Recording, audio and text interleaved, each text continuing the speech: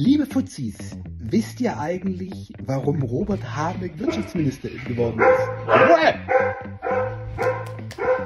Weil er schon als Kind eine ganz besondere Begabung gezeigt hat. Ich finde, meine Begabung liegt darin, dass ich Dinge schneller begreife als viele andere, als der Durchschnitt. Und äh, meine Hauptbegabung liegt in der Mathematik, da bin ich am schnellsten und begreife vielleicht auch manchmal Dinge, die andere nie begreifen werden.